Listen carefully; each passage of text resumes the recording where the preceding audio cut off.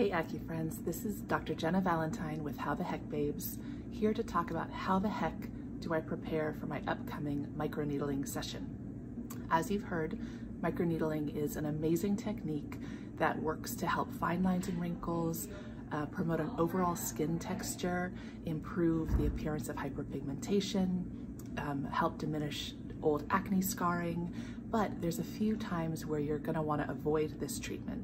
If you're pregnant, not worth the risk. Just wait till that baby comes out.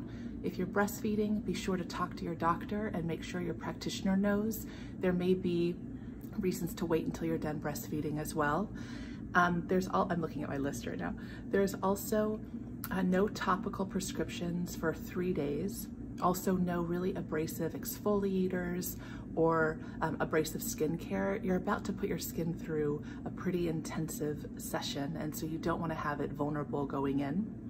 Um, you also want to avoid any cosmetic injections or fillers if you get those for at least two weeks prior, at least. And if you've um, had uh, Accutane treatment in the past year, you're going to want to be sure to let your practitioner know because that really thins the skin.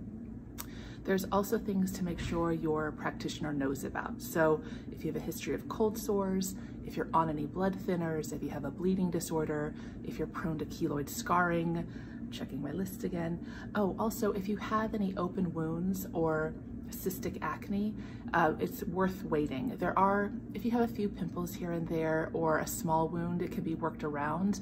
But if it's really the majority of your face, it's worth getting that treated first or letting that heal up first.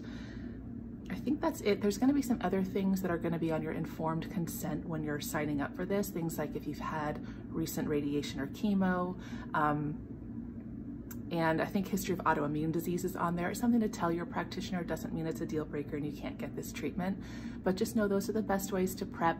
Try not to get a sunburn beforehand because we'll have to wait till that sunburn goes away. Again, just extra gentle to your skin before coming in for these microneedling sessions. Um, enjoy, I hope you check it out, and that's how the heck you prepare for your microneedling session. Take care, bye.